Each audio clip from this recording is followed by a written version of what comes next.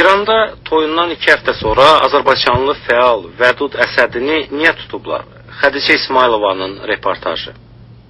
İyulun 22-sində İranın Rəş şəhərində həbs olunan Azərbaycanlıların milli hüquqları uğrunda hərəkatın fəalı Vədud Əsədini bu səhər Rəşd İnqilab Məhkəməsinə aparıblar. Cənab Əsədini toyundan 2 həftə sonra həbs ediblər.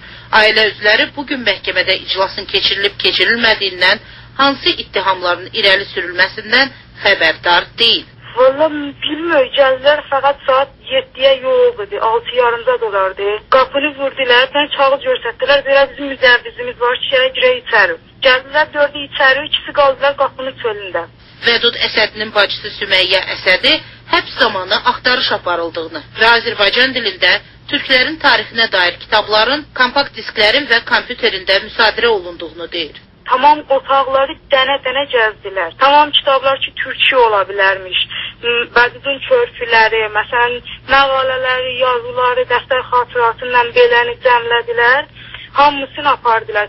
Ta hətta Vədudun albomlarını əkmiş verdilər. Şəkilləri ki vardı. Toy filmlərini zaxtarın, CD-lərini zaxtarın bizdən tutdular, aldılar, apardılar ki, bunları hamısını gərək verər. Süməyyə Əsədi güman edir ki, Vədud Əsədini toyunda Azərbaycan milli simvolikasından istifadəyə görə həbs ediblər.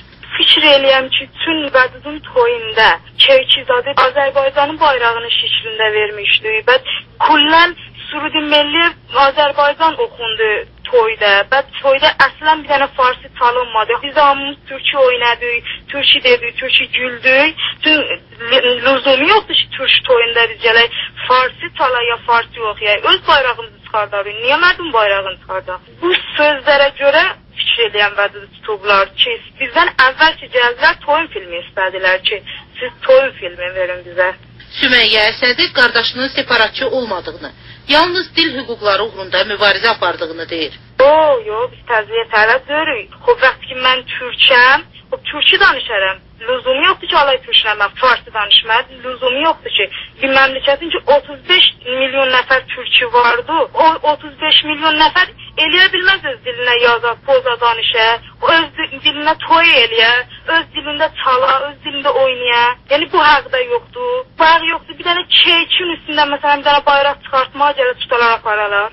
Vədud Əsədi 2006-cı ilin mayında İran qəzetində Azərbaycanlıları tarakan şəklində göstərən və altında tarakanların məhv edilmə üsullarını təqdim edən karikaturun çap olunmasından sonra da həbs olunmuşdu. O zaman Ərdəbil Universitetində təşkil olunan etiraz tədbirində və diskriminasiya əleyhinə aclıq aksiyasında iştirak etdiyi zaman tutulan Vədud Əsədini 4 aya yaxın həbsdə saxlasalar da heç bir ittiham irəli sürməmişdilər.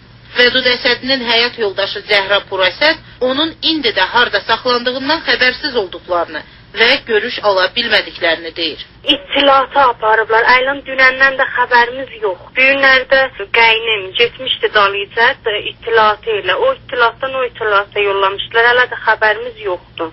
Sizcə nəyə görə həbs ediblər? Bizə də demədilər ki, nəyə görə aparıblar. Nə birdən. Biz özümüz də dəqiq bilmirik. Nə qədər soruşduq da demədilər də. Necə hiss edirsiniz özünüzü? Yəni cəmi 2 həftədir gəlmisiniz, Pərvizə həbs eliblər. Nə hiss edirsiniz? İftixar edirəm. Vətən yolunda yenə də şey olurdu. Tutulurdu. Allah bir məsələ nədir deyim, ağırlıq eləməyib, içməyib və yaşlıq eləməyib, vətən yolunda tutulurdu. Elə iftixar edirəm. İran konstitusiyasının 15-ci maddəsi bu ölkədə yaşayan bütün millətlərə öz dilində təhsil və mədəniyyətlərini qorumaq haqqı tanısa da, Azərbaycanlıların ana dilində təhsil tələbləri yerinə yetirilmir. İranda müxtəlif mənbələrə görə 20 milyondan 35 milyona dək Azərbaycanlı yaşayır. ABŞ Dövlət Departamentinin insan hüquqlarına dair hesabatında bildirilir ki, Azərbaycanlı İranlılar etnik və lingvistik diskriminasiyaya məruz qalmalarından, o cümlədən məktəblərdə Azərbaycanca təhsilə qoyulan qadağalardan coğrafi adların dəyişdirilməsindən şikayətçidirlər. Beynəlxalq Amnistiya Təşkilatı İranda milli hüquqları uğrunda mübarizə aparan Azərbaycanlı fəalların təzyiqlərə, həbs və işgəncəyə məruz qaldığını, bu fəalları vicdan məhbusu kimi tanıdığını bildirir.